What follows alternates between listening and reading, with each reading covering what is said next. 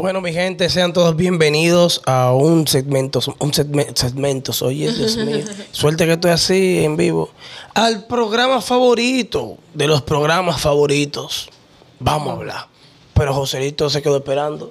Bienvenidos a... Vamos a hablar. Ahí, me friend. Y como siempre, recuerden seguirnos en nuestras redes sociales, en Instagram y TikTok como Team Vamos a hablar, en YouTube y en Facebook como Vamos a hablar. Recuerda que si aún no, no te has suscrito, este es el momento de hacerlo. Activa la campanita y comparte este video que sé que va a ser muy interesante. Bien, gente, estamos en nuestro segmento socializando y en esta oportunidad, entrando ya en, nuestra parte educativa de, nuestro programa, eh, vamos a tratar un tema sumamente importante. Y para ellos nos place presentarle a una dama, una mujer. Ella es psicóloga clínica, terapeuta conductual y del aprendizaje. Aquí tenemos a Claritza Rosa con nosotros en Vamos a hablar. Claritza, Vine armada, cualquier cosa. Sí, me dijeron que no iba a venir. Aquí están todos los papeles, por si acaso. ese es su- ese Por si acaso. esa es su presentación. Esa es mi presentación, venga a estar activo. Firmado y sellado. Firmado, Sin sellado. faltas y- ortográficas. Y sin falta ortográfica, ni una. De los dos lados. De los dos lados, sí. Eh, Claritza, ¿Qué tal, bienvenida. chicos? Un eh, placer estar con ustedes. a nuestro programa. Dios te bendiga mucho. Gracias por, por aceptar nuestra invitación. ¿Cómo te sientes? Muy bien, gracias a Dios. Feliz de compartir con ustedes este tema tan interesante y que hace falta que muchas personas tengan conocimiento de él, porque hay personas que no saben, cuando hablamos de TEA, trastorno del espectro autista, no saben de qué estamos hablando. Claritza, ¿cómo tú inicias entonces a ejercer esta carrera? Estudiando. Estudiando, pero ¿qué Muy, te buen- mete? muy buena ¿De dónde respuesta. nació tu pasión? La buena respuesta. Mira, claro. estudiando. estudiando. Mira, desde niña siempre, el que me conoce va a saber que siempre andaba con los niños. O sea, era como la niñera del grupo. Mi papá era pastor, así que iba a muchas, muchas iglesias. Y siempre he estado con el grupito de los niños. Desde muy joven comencé a trabajar en los clubes de aventureros, clubes de, de conquistadores. Y siempre me ha gustado el trabajar con niños. Es algo que siempre ha nacido en mí. Cuando fui creciendo más, decidí estudiar la carrera de psicología clínica, pero también decidí enfocarme desde siempre a trabajar con niños neurodiversos. Creo que es una población que no muchas personas deciden trabajar con él y se necesita mucha paciencia, mucha empatía para poder trabajar con ellos. Y yo disfruto, yo me siento feliz porque a mí me pagan por hacer lo que me gusta. Yo disfruto mi trabajo, puede ser agotador, puede ser entrenante, pero ver que un niño que antes no podía leer, ahora lee, para mí es un, me llena de, de felicidad ver un niño que antes no sabía controlar su conducta y ahora sabe cómo regularla y que las familias antes no salían porque con el niño de ese comportamiento no se puede salir y ahora ellos salen, comparten en familia porque el niño ya sabe cómo autorregularse. Para mí es una bendición. Entonces eh, comencé a trabajar eh, en esta área hace muchos años. Yo estoy formada en psicología clínica desde el 2005, o sea que hace mucho tiempo hice una maestría en la Universidad Peruana Unión, en Lima. Ando por ahí, falta una defensa, pero ya se estudió. y siempre me he comenzado a ir formando en lo que es el área de trabajar con niños neurodiversos. Lo disfruto. Ok, ok, Claritza. Ya vemos que Claritza está preparada, trajo todos sus documentos. Por si Nuria toca, me dijeron que Nuria podía venir hoy. claro que sí. Entonces, mire, para iniciar, eh, Claritza, nuestro programa lo ven adolescentes tanto de 10 a 15 años. Yo quiero que tú me expliques, como un niño de 5 años, mira, esa es tu cámara, para que nuestro público pueda entender. Porque con esa definición del autismo siempre tiende a haber confusiones. ¿Qué es el autismo? El autismo es un espectro. Se llama el espectro del trastorno autista. ¿Está bien? Cuando hablamos de TEA, hablamos de una afección en el desarrollo. ¿Qué ocurre? Esta eh, afección en el desarrollo comienza en la, en la niñez, no en la adultez, comienza siempre en la niñez, en la primera etapa del niño. Entonces es una es un trastorno con el que tú naces, creces, te desarrollas y mueres. Eh, Una persona autista no es una persona que tiene una enfermedad que se le va a quitar y se le va a curar. Una persona autista no te va a contagiar una enfermedad. Una persona autista simplemente es una persona que tiene problemas en el neurodesarrollo y que le va a ser difícil socializar o interactuar. Por eso se llaman que son neurodiversos, que su comportamiento y sus emociones son diferentes a lo- los estándares establecidos. Ok, ¿se puede dar el caso de que yo no adquiera este espectro desde niño, sino ya en mi adolescencia? Mm, Que tenga que tener un desarrollo tar- tar- tardío. Pueden ser que te lo diagnostiquen en la adolescencia, Ok. pero un trastorno del espectro autista se va a identificar desde los primeros seis meses, van a comenzar a notar señales, hasta el periodo de los tres años.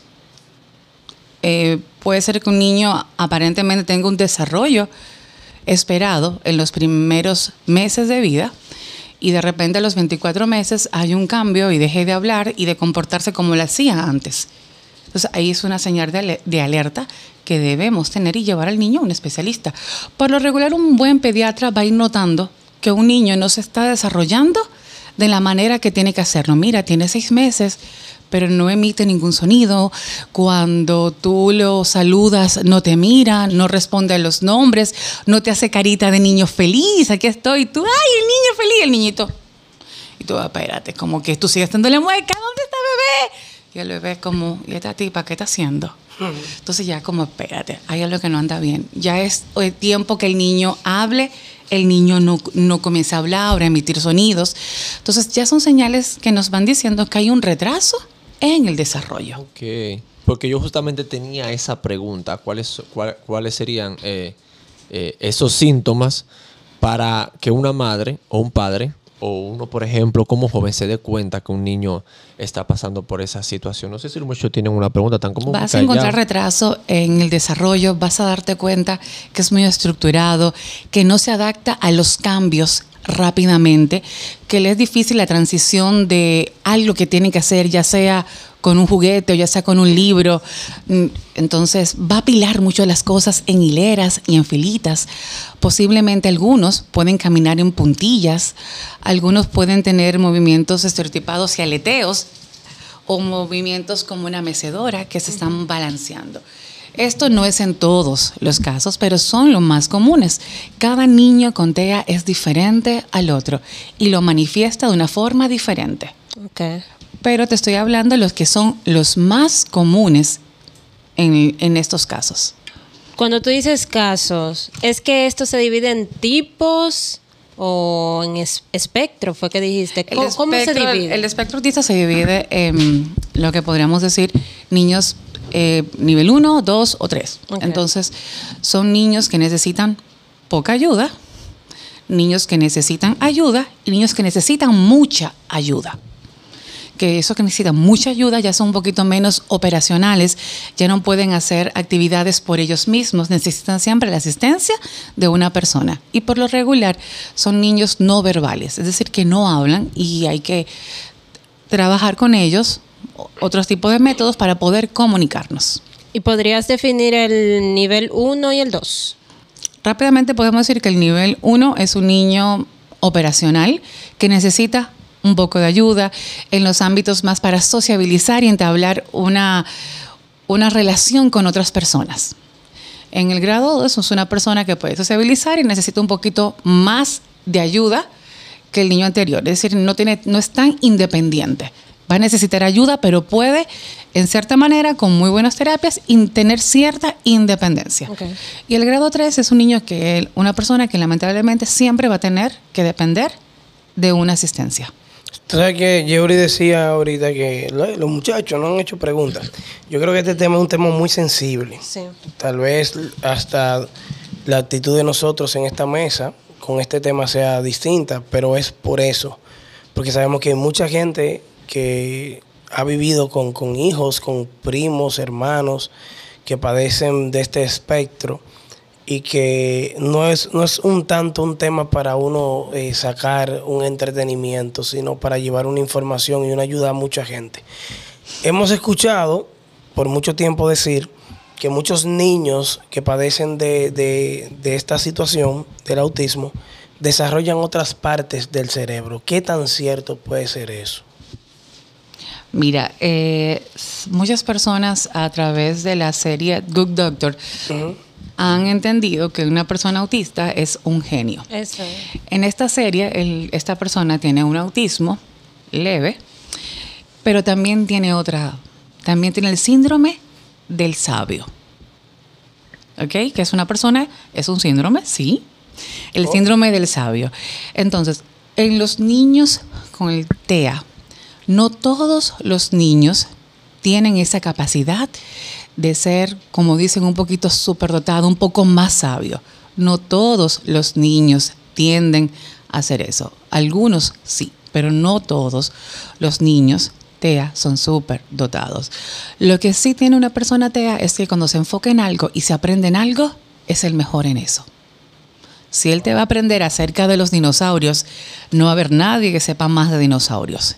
Si él te va a aprender acerca de plantas, nadie va a saber más de plantas tropicales que él, porque se va a, va a buscar información en todos los medios para saber más acerca de eso que le gusta. Por eso muchas personas tienen que decir, ah, es sabio, pero es que se enfoca en lo que él quiere aprender, en lo que es de su interés, y por eso va a tener mucha capacidad en eso que a él le interesa. Ok, mira, te, hago- te quiero hacer una pregunta, ya no concerniente que a los niños, sino más bien a los padres. A ti como psicóloga, a los padres no le dan un tipo de terapia para poder entender y asimilar la situación que tiene su niño.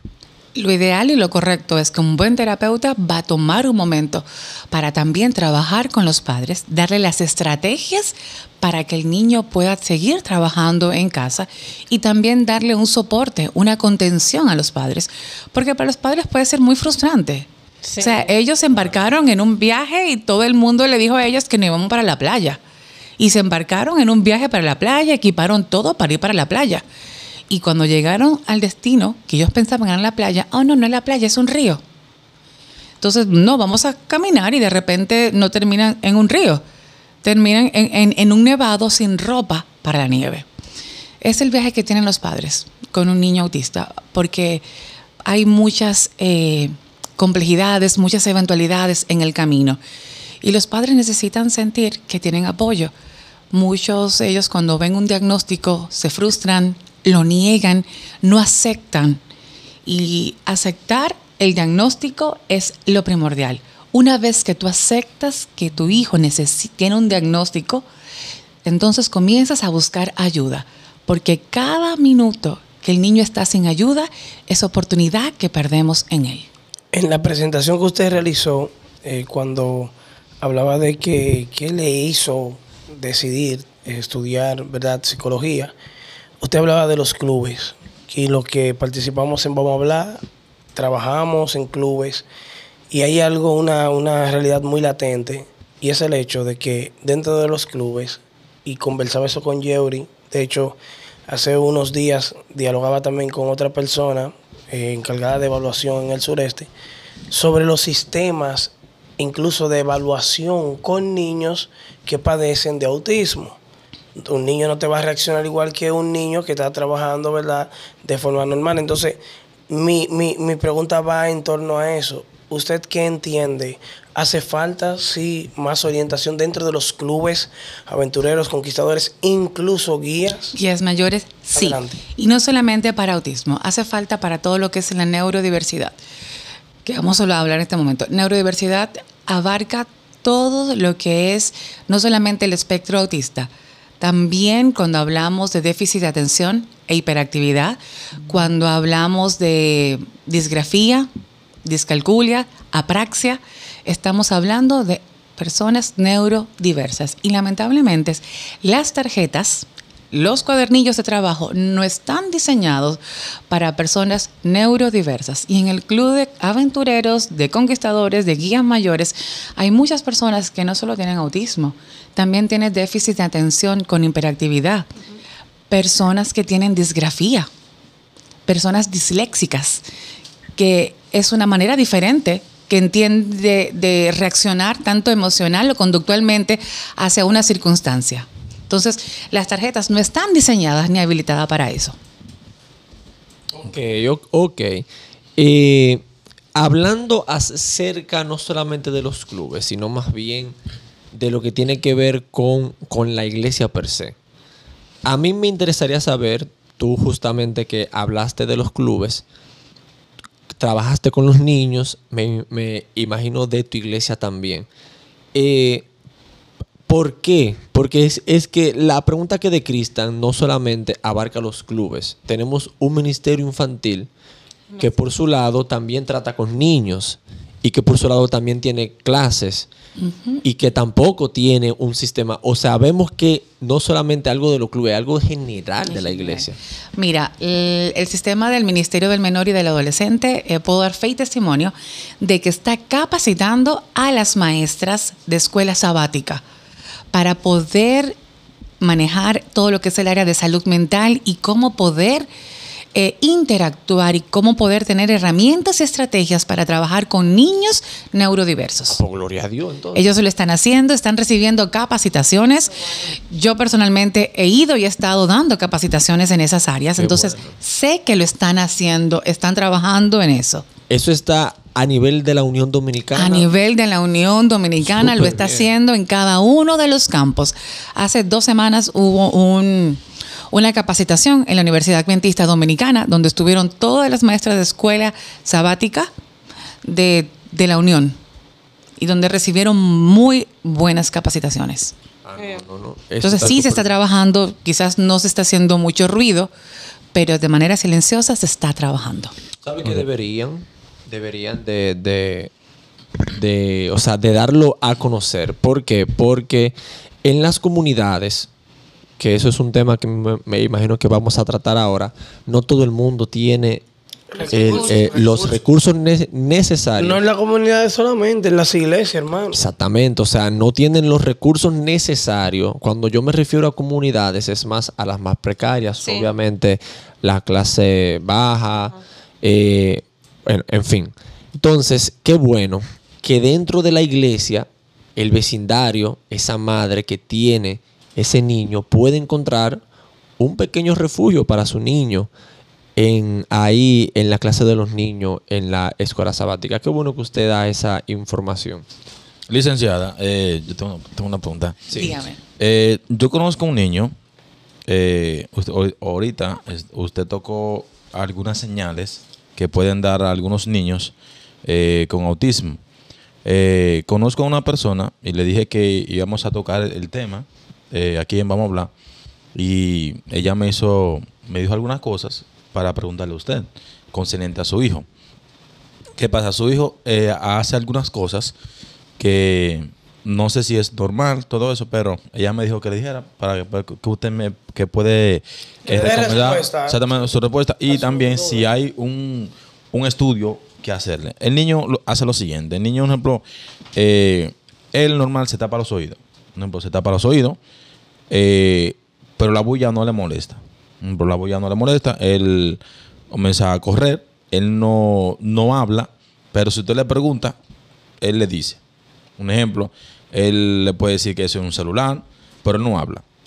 Él hace, alguna, hace algunos gestos, todo eso, pero no, no habla. Eh, corre, como usted dijo al principio, eh, que alinea algunos, algunos juguetes. Eh, a veces hace así, un ejemplo, con las manos. Pero, y cuando se tapa los oídos, hace así, un ejemplo, así, y hace y así normal, y hace así. Entonces, eh, eso es lo que ella me dice que el niño de ella hace. Entonces, ella me pregunta si, si ella tiene que si ella tiene que hacerle algún estudio para ver qué tiene, qué estudio se haría. O sea, qué, ¿Qué edad estudio tiene? El niño tiene dos años. Dos años, ok. Sí, dos una, años. edad, una edad temprana. Mira, sería muy antiético de mi parte dar un diagnóstico Claro. con lo No, que no, tú me no, estás no, tranquilo, diciendo. no, tranquilo, que- Pero tú me estás eh, presentando algunos signos y síntomas que son señales de alerta. Lo ideal sería que esta madre fuera a donde una psicóloga clínica, una persona especializada en el área, que va a observar el niño, va a evaluar el niño y lo va a referir a los lugares indicados para que le puedan hacer todas las pruebas diagnósticas necesarias Ok, está bien. para descartar o confirmar un diagnóstico. Ok, muchas gracias. ¿Qué tan importante es respetar el espacio personal de, de los autistas? Porque he visto casos donde ellos se, se cogen con un objeto en específico. Y si tú le quitas ese objeto, reacciona de forma no agradable para muchos, pero que es realmente su espacio personal que estamos invadiendo. Eh, ¿Este es un tipo de, de nivel, eh, nivel de autismo o cuál es la situación ver, que se te da aquí? respondo con un, un pequeño ejemplo. Si tú estás utilizando, estás viendo Netflix y yo llego, te apago el televisor, te apago la luz, ¿cómo tú te sientes? Incómoda y me ¿Y por qué? Porque estás invadiendo mis cosas. Y si yo te digo y te advierto antes, mi niña, cuando suene esta alarma, en dos minutos, cuando suene la alarma, yo voy a apagar el televisor porque ya es tiempo de acostarnos y no va a haber más Netflix. Yo te apago el televisor. Sonó la alarma, pit, pit, pit. Te apago el televisor y te digo, dile adiós a Netflix, ya no lo vamos a ver por hoy. Tú te sientes molesta igual, ¿verdad? Sí. Pero reaccionas de la misma manera a que si yo voy sin lo- avisarte. Me lo, me lo advertiste ya. Exactamente. Los niños TEA necesitan, y la mayoría de niños neurodiversos, necesitan que le anticipemos lo que va a suceder. Entonces, antes de yo venir y decirte, toma, dámelo, yo me voy a eh, porque tú me lo quitas. Yo estoy jugando con él, yo estoy cómodo, estoy tranquilo, no estoy haciéndole daño a nadie, porque tú me lo rebatas. Entonces, como no tienen la capacidad en la mayoría de poder expresar eso que está pasando en ellos, su forma de hacerlo es que irritándose, mordiendo, pataleándote, aruñándote, gritando, porque es su forma de expresar, estás haciendo algo que no me agrada. Entonces, es la manera que ellos están reaccionando a un estímulo que tú le diste, que fue arrebatarle un juguete. En cambio, si tú le dices, mira, es tiempo de este juguete, algunos le va a ser difícil, algunos se lo van a pasar, otros no van a querer. En algunos casos, en algunos niños tenemos que hacer una transición con un juguete a otro y en otros llevarlo a terapia por un, un buen tiempo hasta que ellos aprendan a poder tener tolerancia en eso. Entonces, posiblemente yo te diga, mira, eh, toma este juguete, toma este juguete y esta tortuga la vamos a guardar. Dejamos de jugar con la tortuga, ahora tú vas a jugar por este un ratito más. Posiblemente no esté muy feliz, pero lo haga, porque tú le estás avisando y le estás comunicando lo que va a suceder. Si yo vengo y digo, dame esto, ven, como cualquier otro niño, ¿por qué? Porque yo lo digo, él se va a quillar, porque aquí no es que yo lo digo, aquí es explícame qué estás haciendo y por qué me lo estás quitando. Pensé que era que ellos eh, ya hacían ese juguete suyo y que tú no se lo podías lo quitar hacen por- suyo porque es- ellos le cuesta mucho hacer una transición de una actividad a otra y muchos juguetes con los que se sienten felices en ese momento los van a tomar. Posiblemente el ratito lo dejen ahí y no le hagan caso, pero en ese momento es, algo que yo estoy usando. En esa línea de los juguetes, ¿qué, qué tan eficaces podrían ser los juguetes a la hora de enseñarle a los niños? Eh, Aquí tenemos un grupo de, de- de juguetes. Y otra cosa, ¿cuáles juguetes usted te recomienda a los padres que están viendo ahora el programa utilizar con sus niños, ya que ellos identificaron que su hijo o hija tiene autismo?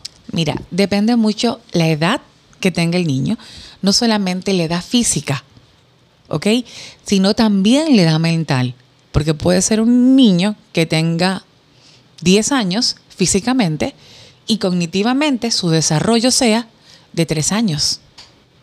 Ok. Entonces, yo no puedo decirte este, este y este son los indicados. Tiene que ver mucho la edad cognitiva, el desarrollo cognitivo que tenga el niño y las cosas que le llamen la atención. Si al niño le gustan los animales, mira, vamos a comprar muchos juguetes como este, que pueden ser marionetas, que son suaves, que son sensoriales, que puedes jugar, que puedes mover, porque al niño le gustan qué? Los animales. Ah, no le gustan los animales. Las, bueno, él prefiere las cosas más funcionales, los cubos, las figuras geométricas. Vamos a buscar figuras geométricas. Muchas veces los niños también hacen fijación, muchos con lo que son el, el abecedario. Vamos a comprar materiales que tengan que ver con el abecedario, cosas que sean llamativos para ellos. Evitemos utilizar muchas pantallas a Eh, menos que sean reguladas y con juegos que sean educativos y lúdicos, no con Minecraft y esas cosas, ¿Y sino con juegos que sean didácticos. ¿Qué, ¿Qué impacto podría tener el uso de los móviles en la mano de esos niños? Mira, ¿Qué en la mano de negativo, cualquier niño positivo? pequeño, una tableta es una sobreestimulación. Y en un niño debe ser creativo, un niño debe saber que hay que tocar las cosas para que suenen. O cuando nosotros jugamos, bueno, no sé, cuando yo jugaba, eh, para que un elemento sonara había que pucharlo mucho y darle vuelta y después sonaba con mucha luz y fui, fui, y ya. Ahora no. Aprietas un botón y tienes estímulo visual, auditivo, o sea, tienes mucha estimulación. Entonces, ayudamos a limitar la creatividad de un niño porque todo lo tiene. Poderoso. Ya no va a ser una casita con, con la caja, con la sábana un fuerte. Porque ¿para qué? Tengo todo acá. Entonces, en estos niños, ellos pueden fijarse mucho en algo y quedarse inmiscuido en ese mundo. Mientras más le facilitemos esto, va a ser más difícil que él aprenda. Tenemos que tenerlo estimulados. Y hay juegos en la tablet que mantienen el niño que trabajan figura y fondo, trabajan coordinación visomotora. Perfecto, está bien. Estamos enseñando al niño a aprender mientras, mientras está jugando. Pero cuando estamos con juegos que son de peleas, de batallas, no estamos enseñándole nada al niño. Estamos reforzando una conducta de agresividad que no queremos en él. Me llamó mucho la atención eh, lo de la edad cognitiva, creo que fue el término que utilizaste. Exactamente. ¿Cuáles mecanismos ustedes utilizan para determinar la edad cognitiva de un niño autista? Bueno, yo en lo particular no lo uso, no es mi especialidad, pero están los especialistas en la neuropsicología. Los neuropsicólogos y los neurólogos realizan pruebas. A través de esas pruebas se puede determinar la edad cognitiva que tiene una persona. ¿Cómo yo le puedo...? eh, Sí, sí, con respecto, sí. Eh, eh, en este momento hablo en nombre de los padres eh, cristianos. ¿Cómo se podría trabajar lo que es eh, las enseñanzas bíblicas o que el niño tenga una relación con Dios, el niño padeciendo esta situación? teniendo mucha paciencia, utilizando muchos elementos audiovisuales y, utiliza, y no siendo abstractos. Los niños TEA son unos niños que perciben las cosas como son, no tienen la capacidad de ver las cosas de manera figurada o de manera abstracta. ¿Y la religión? ¿De qué manera se habla en la religión? ¿De manera qué? ¿Simbólica? ¿Simbólica y figurada o no? Sí. ¿El perdón es? ¿Cómo? ¿Tangible o figurado? No, es- El perdón, la fe, el amor a Dios, es algo que no podemos Palpar. palpar. Entonces, cuando le hablamos a un niño Tea, acerca del amor de Dios, tenemos que hacerlo de una forma tangible y entendible para él, no de manera figurada. Conozco una persona donde hubo una niña que tuvo una crisis porque estaba en la iglesia y dijeron algo muy peculiar en muchas de nuestras iglesias. El día de hoy vamos a entregarle nuestro corazón a Jesús. Pongamos nuestras vidas en las manos de Jesús. Esa niña comenzó a llorar y no hubo forma humana de calmarla. Llorar, llorar, llorar y llorar. Adivinen por qué lloraba. ¿Por qué? Porque lo tomó Por de el forma corazón. literal. Porque ella decía, yo amo a Jesús, yo amo a Jesús, pero yo no quiero darle mi corazón a Jesús. Si le doy mi corazón a Jesús, yo no voy a vivir. Yo quiero a Jesús, pero porque Jesús se me ama, me está pidiendo que yo entregue qué? El corazón. Mi corazón.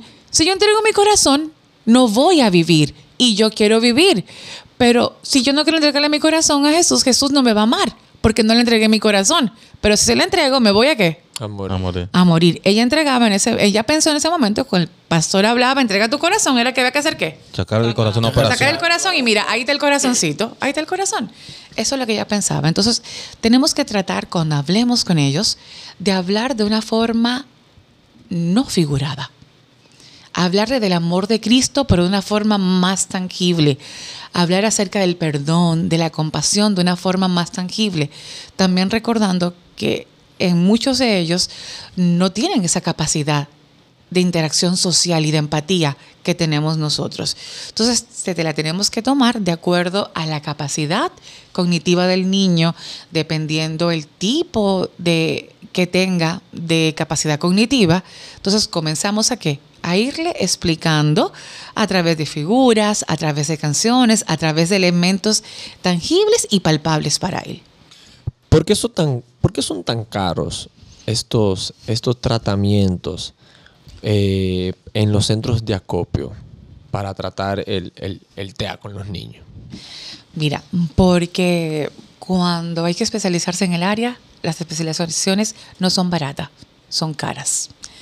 Los materiales que se usan para trabajar con ellos son caros. No son materiales que son baratos, tienes que ser materiales que puedan ser resistentes al tiempo, resistente a una crisis que tenga el niño, que lo agarre, que lo, que lo quiera venir y, y doblar, que lo, que lo haga así, que lo, que lo muerda, que lo tire y que lo extraye. Entonces, si yo agarro este material, intento hacerle así, ¿lo puedes romper fácilmente? Intenta. Tienes que hacer demasiada fuerza No, para que tú lo sí, rompas. Yo vengo, lo extrayo, se tira, no le pasa absolutamente nada. Entonces, esos niños tienen momentos que se desbordan, que no saben cómo autorregularse y van a utilizar los materiales, las cosas que tienen a su alrededor, pueden tomarlo, agarrarlo, estrellarlo y romperlo. Entonces, si tú compras materiales que no son de buena calidad, no te van a durar ni una semana. Y tienes que estar comprando semanalmente materiales. Por eso la mayoría de centros terapéuticos invierte en buenos materiales para que por lo menos te duren de uno a dos años. Pero esos materiales no son baratos. Continuando con ese mismo tema de los centros, ¿cómo yo como padre, teniendo un niño autista, puedo eh, garantizar de que el centro es un centro viable, confiable para el niño? Porque ahora mismo, por ejemplo, hay muchos padres que pueden tener ya la duda por lo que se acaba de- de descubrir que hay un, hubo un centro que fue clausurado porque su CEO, dígase su directora, tenía unos títulos falsos. Es triste, es lamentable esta, esta situación. Me pongo en el lugar de esos padres y se me pone el corazón chiquito porque depositan muchas esperanzas, eh, tienen mucha fe en, en que su hijo esté en un buen centro, que están pagando un dinero por una buena atención y al darse cuenta de esto es como, y mi hijo estaba recibiendo una buena atención, entonces mi hijo avanzó su desarrollo cognitivo estando en ese lugar o retrocedió el desarrollo cognitivo estando en ese lugar.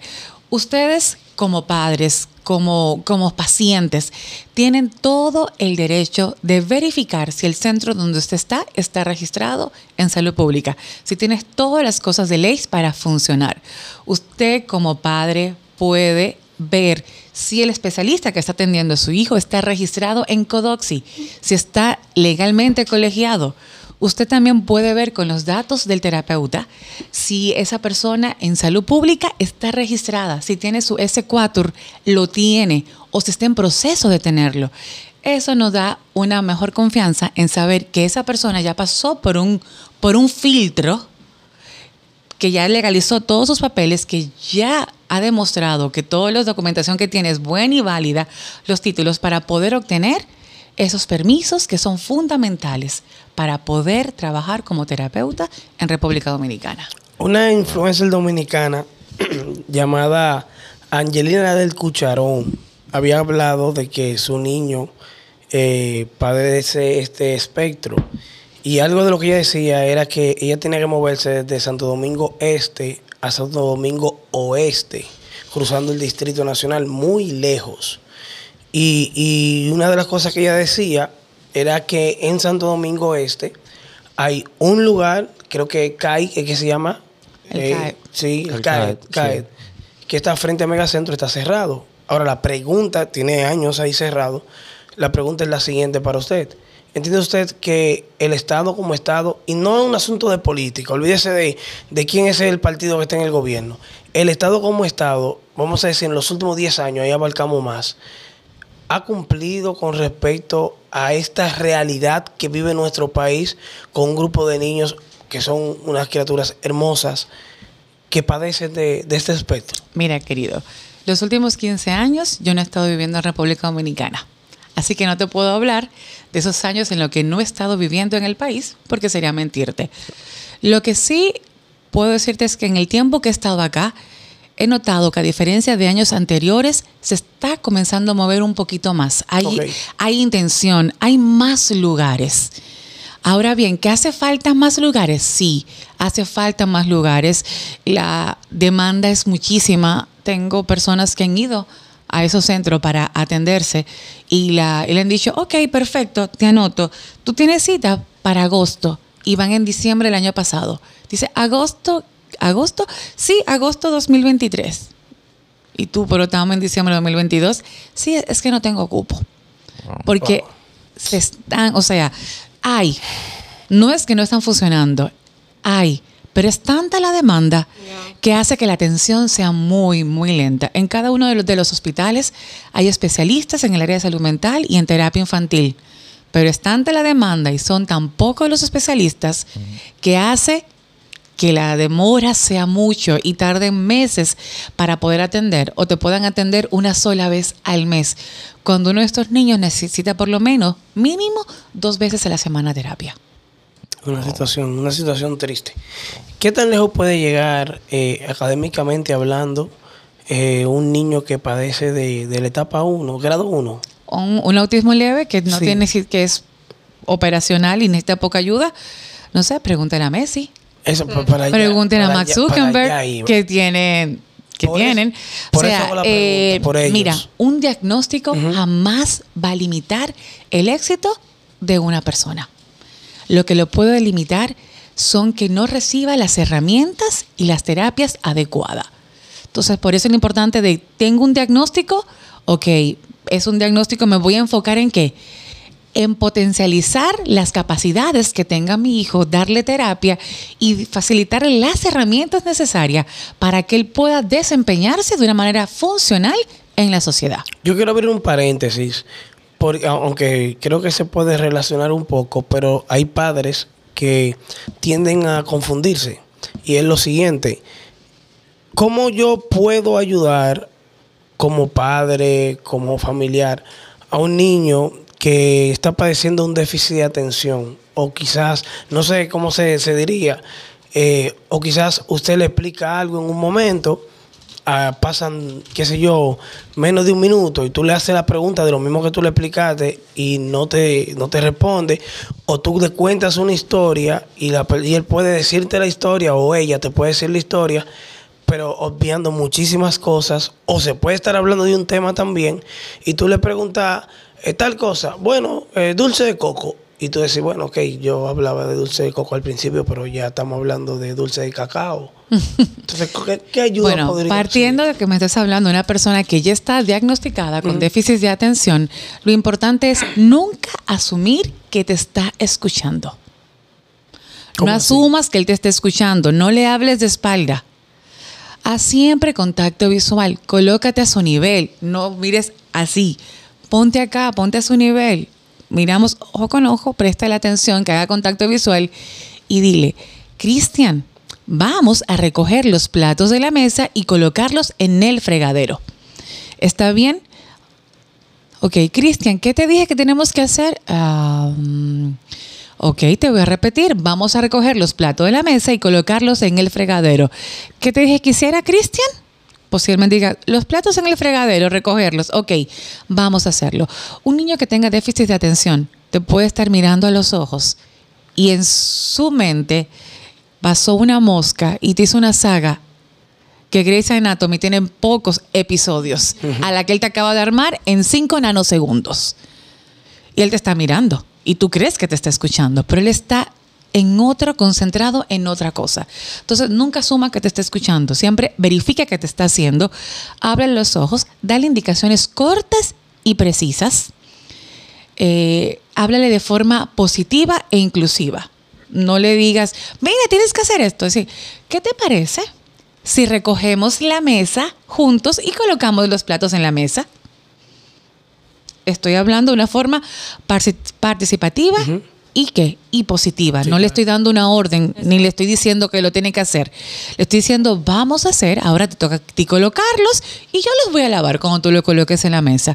Le estamos hablando de, par- de forma participativa. Excelente. Son algunas de las estrategias que podemos utilizar cuando un niño tiene un déficit de atención. También jugar muchos con ellos. Puedes jugar sopa de letras, crucigramas, rompecabezas. Simón dice, de una u otra manera van a trabajar en ellos lo que son la atención y la concentración de una forma divertida. Y trata de no gritarles o no pelearles cuando ellos no hagan algo. Trata de hacerlo, corregirlos desde el amor, no desde el castigo. Hay una preocupación que muchos padres a veces expresan con respecto a una situación o una etapa de la vida del niño. Y es cuando el niño le toca ser amigos. Porque si una cosa tienen eh, estos niños es que son independientemente de que en algún momento están ahí, cuando alguien le cae en gracia, por, por así decirlo, ellos tienen su forma de mostrar cariño y afecto a su forma. A su manera. Entonces, ¿cómo podría trabajar eh, un padre, una madre que está preocupada porque el niño, qué sé yo, los amiguitos del sector ya van y lo buscan, por ejemplo? eh, hablo de niños, qué sé yo, 8, 9, 10 años. Este es un niño que ya está comenzando a sociabilizar con otros niños.